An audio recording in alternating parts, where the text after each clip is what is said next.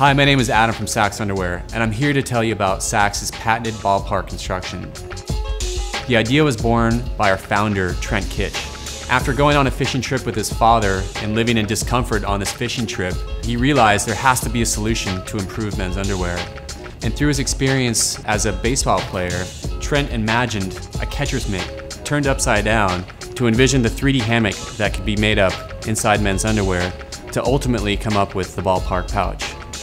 Ballpark pouch construction is a 3D hammock design in men's underwear intended to separate the balls from the legs. It provides the ultimate in comfort, performance, anti-chafe, support, and breathability. Every pair of Saxx underwear features flat-out seams for additional comfort and smooth against the skin contact. Most underwear companies place the stitching on the inside of the underwear, whereas we reverse that and place the stitching, the harsh stitching, on the outside of the underwear.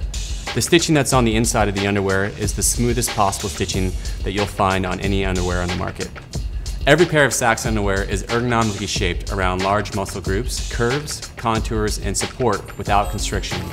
And seams are strategically placed to eliminate chafing at potential friction points taking a 360 degree view of the body, we consider fit, feel, and function, and use nine panels of fabric to create 3D shaping around glutes, thighs, quads, and hamstrings. Often imitated, never duplicated, Saxx Underwear is the pioneer, the originator, and the leader of the first panel construction in men's underwear.